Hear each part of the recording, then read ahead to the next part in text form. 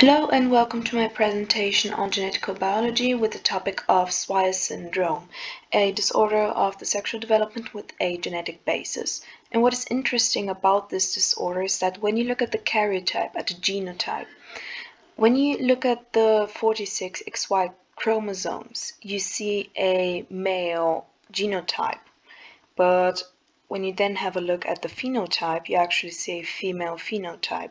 So there's incongruence and disagreement between the genotype and the phenotype of this disorder is its main characteristics. And in order to explain this disorder on a biological biological basis, I'll first talk about the let's say normal or unaffected sex, sex determination. Later on I'll give you a definition of the syndrome and of its scientific discovery. And we also have a look at the original Swyer's document. Next up, we're going to talk about the external changes and the internal changes changes of people affected with this disorder, as well as the gene mutation be behind all of that, or the most common gene mutation behind Swyer syndrome.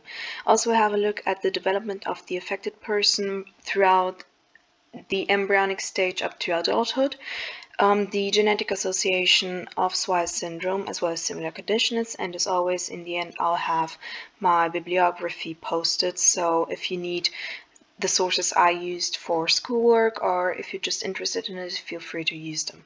And if all of that seems interesting to you feel free to keep on watching and I hope you enjoy.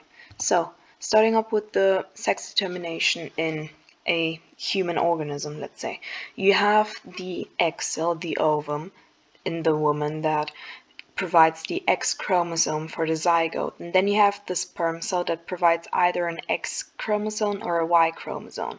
And there you have, as you can see for a female presenting person, a, a double X chromosome, and here you have an XY chromosome.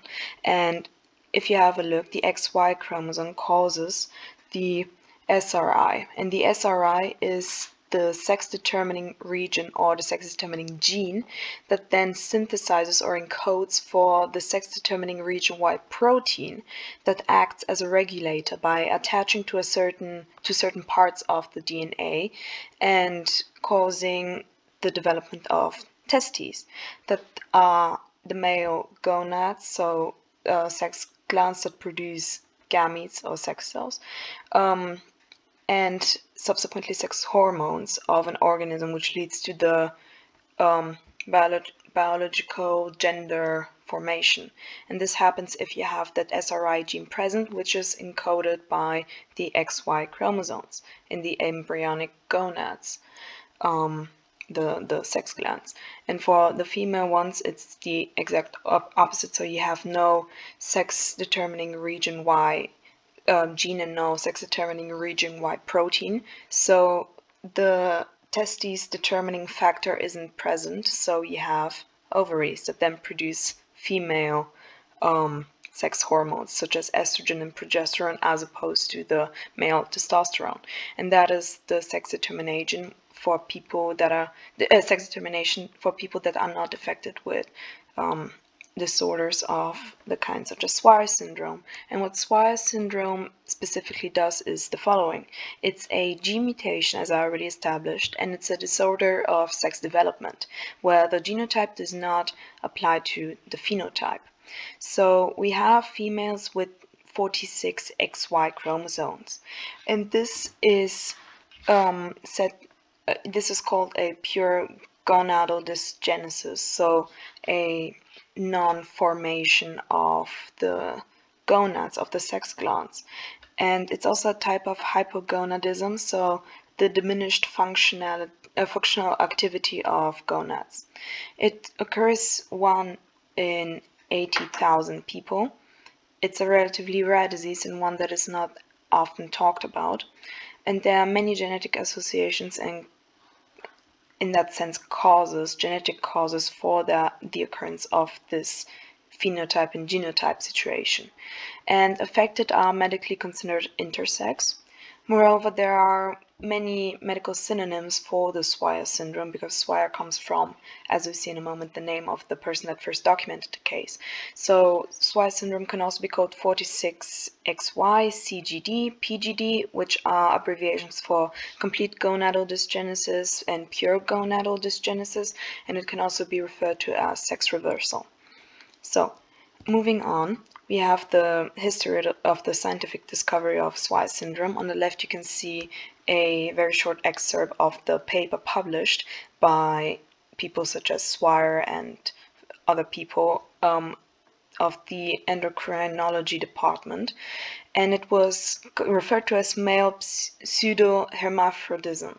So hermaphrodism, when you have the occurring phenotype of both genders, either medically or um, of that sort of situation.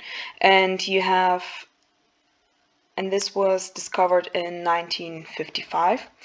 It was the first referenced case in medical uh, literature, but it of course occurred early on. It was just not documented.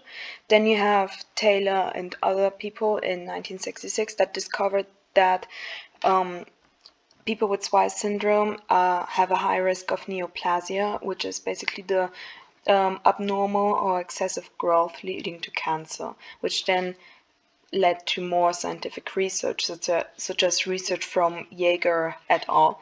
Um, in 1990 um, that made more research for mutation in the Y chromosome.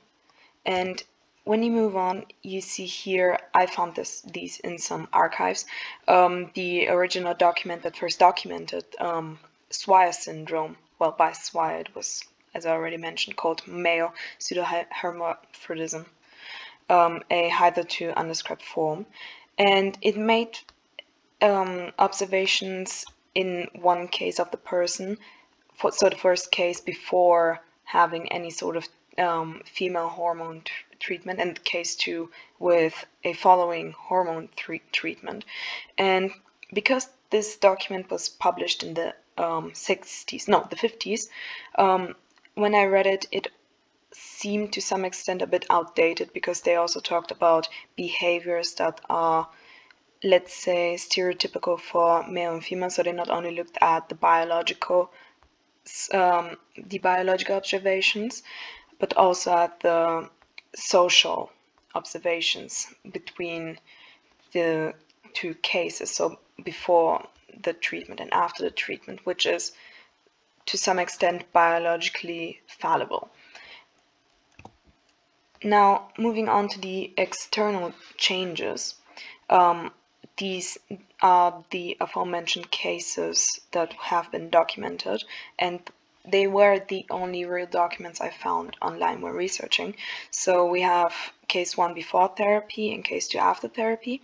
And general characteristics include a tall stature and no secondary sex characteristics, so no formation of breast, for example. Um, we also have a primary amenorrhea, so a lack of menstruation a small reproductive system, an enlarged clitoris, and eunuchoid proportions, which refers to um, proportions resembling a eunuch.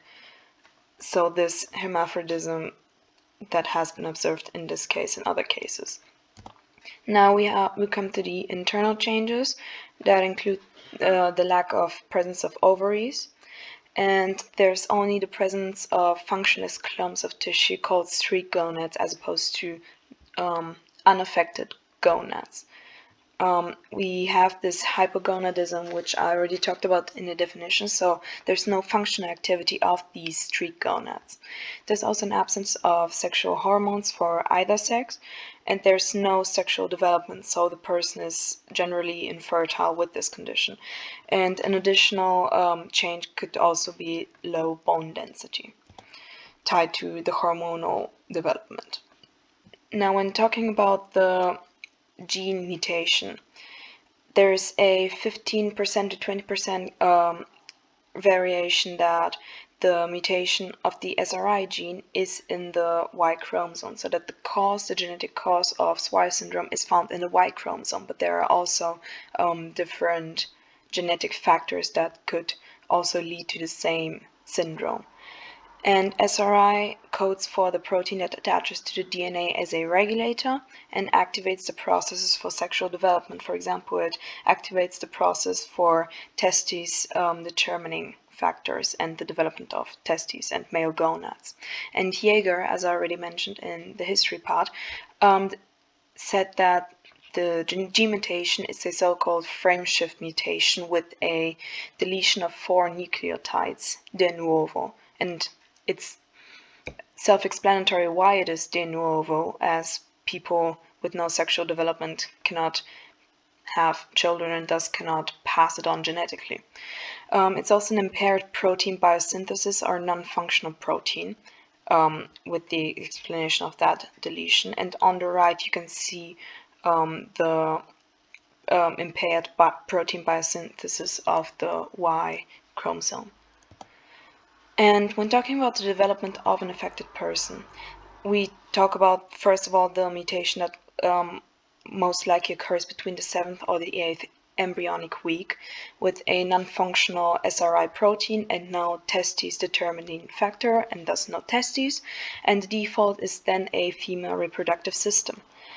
Then we have we come to the prepubescent um, stage, which is generally a normal or unaffected development with no signs of mutation and condition, which is why it most likely is not di diagnosed at that age. And then with the set on of puberty, a halted sexu sexual development can be observed. So as a disorder of sexual development and the person remains in the prepubescent, prepubescent stage which is which is also the, um, referred to as sexual infantilism. And genetic associations are not only SRY um, related, but also related to um, other uh, parts of the genotype, which I won't be focusing on because my lack of expertise is very apparent in that region, so I'm sorry for that. But there are different genetic associations, not only with the SRY gene. And similar conditions also include the CAH part, which you can read here, and the CAIS. And what is interesting there is that all of them have fem female, uh, female phenotypes, but only the Swyer syndrome in those examples have streak gonads. The other one have fully functioning or um, male gonads. I don't know if they're fully functioning, but their male gonads testes. And in the reverse of that, Swyer syndrome affected people have Müllerians or female organs, whereas the other similar conditions have not. But then in the end, they have the same phenotype and the same, to some extent, the um, same genetic observations that are evident for those disorders. And yes, this was my short um, presentation on Swyer syndrome. This is my bibliography and my sources. And I thank you for listening and watching.